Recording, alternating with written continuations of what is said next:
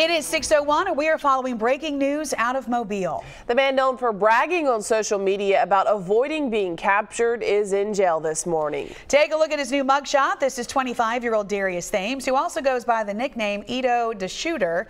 He was booked into jail early this morning on several charges, including robbery and attempting to elude. As we reported, police say Thames taunted law enforcement on social media about avoiding capture for 2017 crime. They did arrest him, but but he failed to show up for his sentencing. Police then robbed, say he then robbed a man at gunpoint in a fast food parking lot on Sunday morning. Again, Thames is in custody this morning. We are reaching out to investigators to learn more about his arrest, which we are trying to confirm happened after a chase from a local apartment complex. Stay tuned to Fox 10 News and check our website fox10tv.com for any updates.